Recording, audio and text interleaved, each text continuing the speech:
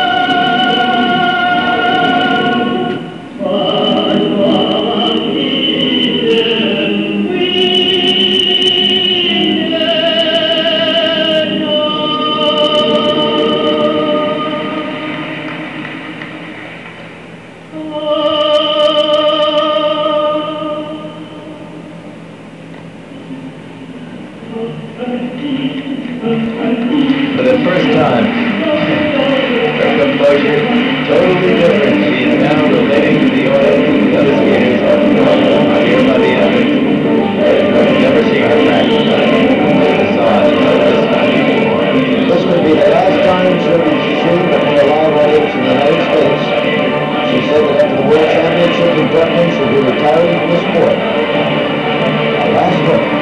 great Very, very good. You know, many people in the audience standing to applaud them. That, that is, in my book, absolutely first rate, recognizing them as the great skaters that they are. Skaters who have changed the sport because they were in it.